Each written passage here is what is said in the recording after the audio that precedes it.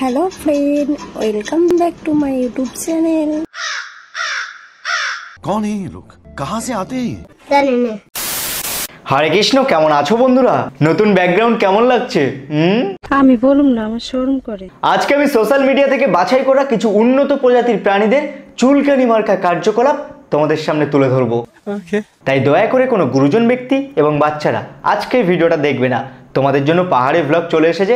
যাও ওগুলো দেখো। তো বেশি ফাজলাম না মেরে আমি বললাম আর তোমরা দেখছ বিষাক্ত ছেড়ে চলো আজকে ভিডিও শুরু করা যাক। লেট স্টার্ট আজ কিন্তু হেভি ধার্মিক ভিডিও হতে চলেছে। তাই টুক করে নিজেদের সেফটির জন্য কানে হেডফোনটা গুজে নাও। তো সকাল সকাল আমরা সবাই রেডি হয়ে গেছি। তো চলো এবার যাওয়া যাক শ্রাদ্ধ অনুষ্ঠানে। মানে এরা কারা ভাই? শ্রাদ্ধ বাড়ি যাচ্ছে সেটা নিয়েও নাকি ভ্লগ বানাচ্ছে? যাই হোক অনেকদিন বাদে আবারও একটা শ্রাদ্ধ বাড়ির ভ্লগ দেখতে চলেছি। দেখা যাক। এই মামুনি আবার শ্রাদ্ধ বাড়ির ব্লগ নিয়ে কি পিন্ডি চটকায়? সেদিন তো আমাদের ফুডি গ্রেড ভাই হালকা মতে শুয়ে পড়েছিল। আজকের এই মামুনি কি করে দেখা যাক? সো এনারা হচ্ছে আমার দাদা আর ঠাম্মি আর আমার লুক তো অলরেডি তোমরা দেখেই নিয়েছো। কই না তো মামুনি তোমার শ্রাদ্ধ বাড়ির লুকটা তো দেখিনি? এই দাঁড়াও তোমার শ্রাদ্ধ বাড়ির লুকটা আগে দেখে নিই। তারপরে তোমার এই শ্রাদ্ধ বাড়ির ব্লগটা দেখব।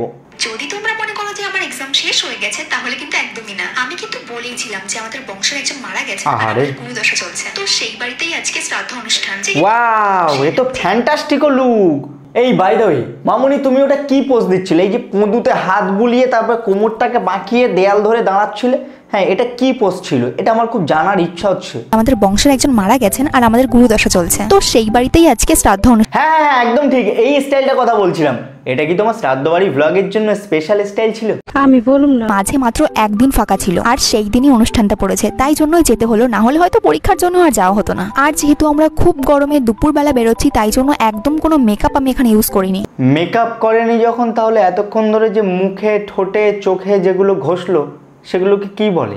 আরে পাগল লোক আমি মেকআপ মানে ফেস মেকআপের কথা বলেছি like foundation concealer okay we all পাগল অ্যান্ড ইউ পালম্বা বিকজ ইউ আর এ শ্রাদ্ধ বাড়ির নির্লজ্জ ভ্লাগার কন্ট্রোল শ্রাদ্ধ বাড়িতে ভ্লগ বানাতে যাচ্ছে আবার সেটা লুক নিয়েও আলাদা ভ্লগ ভাবতেও অবাক লাগে যে আমাদের চারিপাশে কত ধরনের পাগল দোচা প্রাণী রয়েছে। হ্যাঁ যাকে ফরত দেখছ উনি মারা গেছেন। স্পেশালি শ্রাদ্ধ বাড়ি ভ্লগারদের জন্য আমার খুব দুঃখ হয়। কারণ একজন মানুষ কতটা পরিমাণে বেকার আর নির্লজ্জ হলে শ্রাদ্ধ বাড়িতে গিয়ে ভ্লগ বানাতে পারে। সঠিক বলেছেন। দেখো বিয়ে বাড়িতে গিয়ে ভ্লগ বানাচ্ছ ঠিক আছে কারণ ওটা একটা এন্টারটেনমেন্টের জায়গা। কিন্তু শ্রাদ্ধ হলো একটা শোকের জায়গা। তাই বলে আমি বলছি না যে শ্রাদ্ধ বাড়ির মানুষজন সবসময় কান্নাকাটি করবে। শ্রাদ্ধ বাড়িতে কি হয়? সবার মনটা একটু খারাপ থাকে কারণ একজন মানুষ সকলকে ছেড়ে চলে গেছে। তাই সকলের মনটা খারাপ থাকবে এটাই স্বাভাবিক। আর সেই শ্রাদ্ধ বাড়িতে গিয়ে কিছু নির্লজ্জ বেহায়া পাবলিক হ্যালো গাইস এই দেখো আমি শ্রাদ্ধ বাড়িতে এসেছি হ্যাঁ সবাই কান্নাকাটি করছে।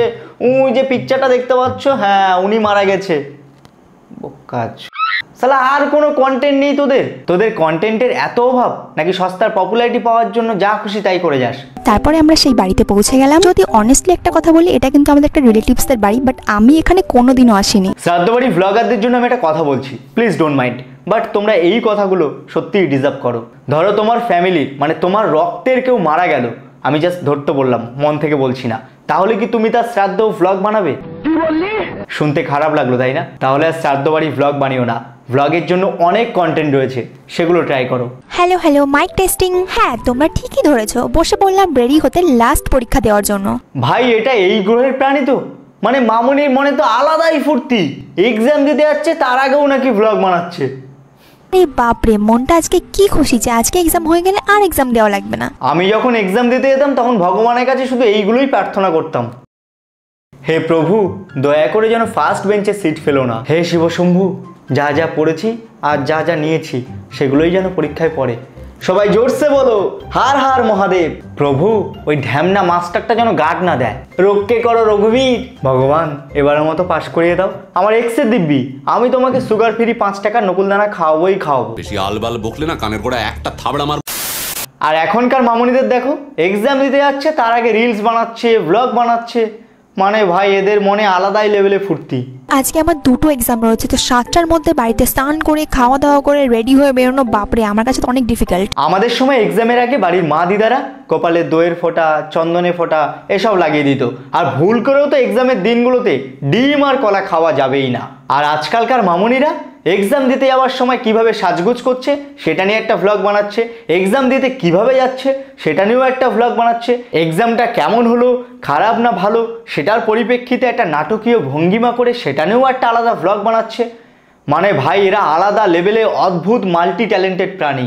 সম্প্রতি এমনই এক ভিডিও ভাইরাল হয়েছে আর এই ভিডিও নিয়েই শুরু হয়েছে ট্রোলিং মানুষ না খেতে পেয়ে পটল তুলছে সেগুলো তোমরা নিউজ চ্যানেলে দেখতে পাবে না। শ্রাদ্ধ বাড়ির একটা ভাইরাল ভিডিও সোশ্যাল মিডিয়াতে চলছে ব্যাস ওটাই নিউজ চ্যানেল কভার করে ফেলল।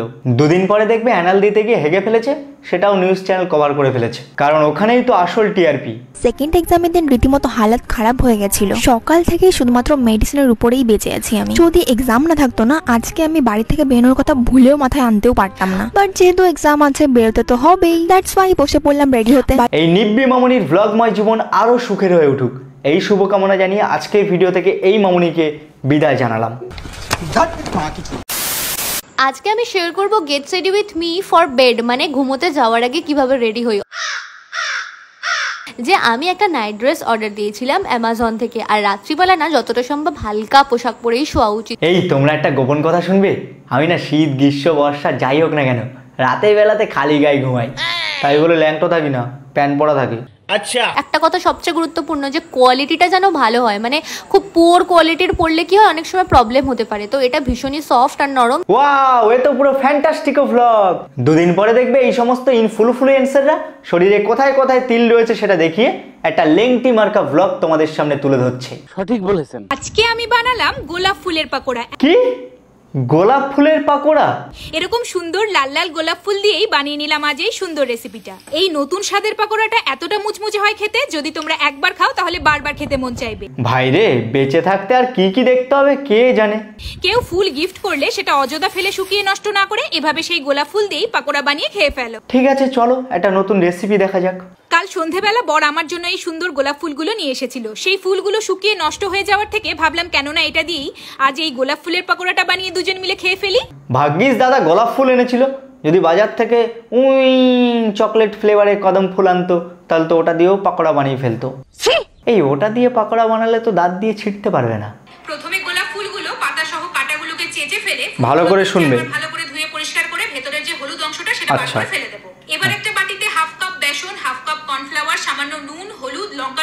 আচ্ছা।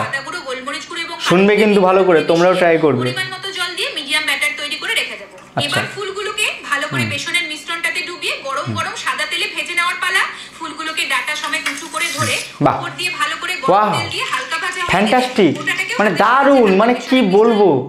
এর কোনো তুলনাই হয় না। নতুন রেসিপি সেরা।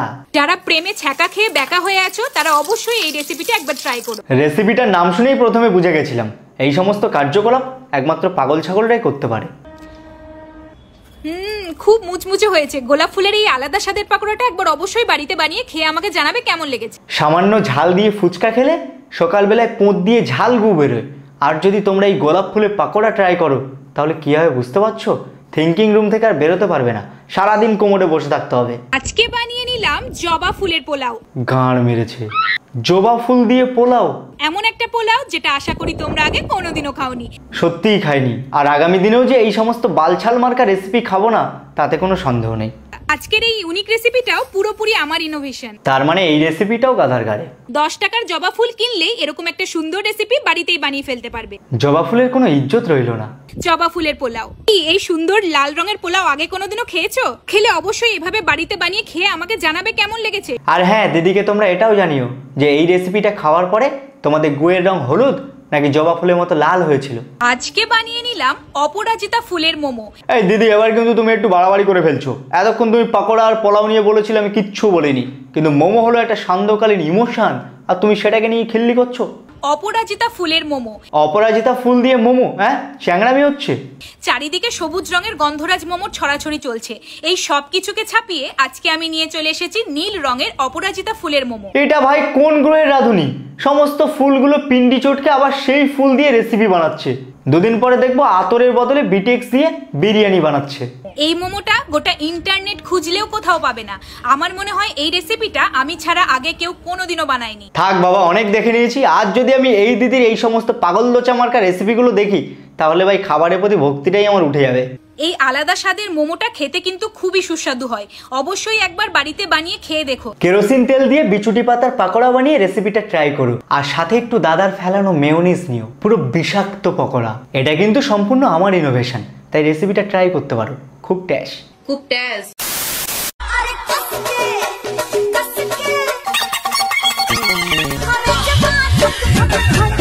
নাকে সর্দি চেটে খাওয়ার বয়সে এরা কিনা সোশ্যাল মিডিয়াতে কষকে কষকে গানে রিলস বানাচ্ছে।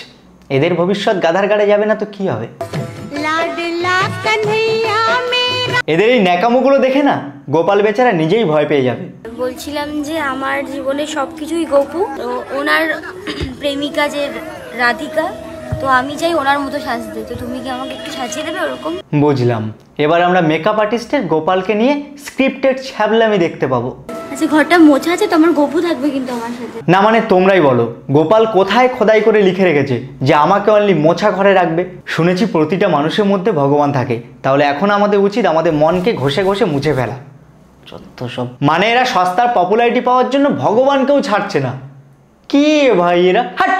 কেমন লাগছে আমার গোপু? আমার সাথে তোমার পছন্দ হয়েছে? গোপাল, আমাদের বাড়িতেও রয়েছে। এমনকি তোমাদের অনেকের বাড়িতেই হয়তো রয়েছে। কিন্তু সোশ্যাল মিডিয়াতে সস্তার পপুলারিটি পাওয়ার জন্য এরকম স্ক্রিপ্টেড ভগবানকে নিয়ে ছ্যাবলামি করি না আমরা। যাই হোক, এদের এই লোক দেখানো গোপালের প্রতি ভালোবাসাগুলো দেখে তোমাদের কি মতামত? সেটা অবশ্যই কমেন্ট বক্সে জানিও।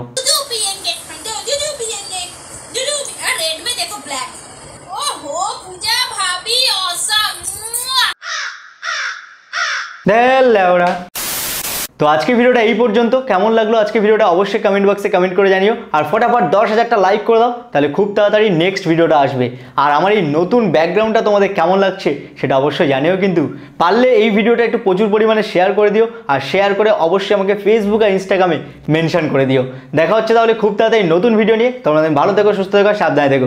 লাইভ বাবাই। আর এটা আমার ইনস্টাগ্রাম এখানে আমি অনেক অনেক অনেক মিনি ভ্লগ আপলোড করছি। তোমরা যদি ছোট্ট ভ্লগগুলো দেখতে চাও, তাহলে অবশ্যই এখানে আমাকে ফলো করে নিও। ও, আমি কিন্তু শ্রাদ্ধ বাড়ি ভ্লগ বানাই না।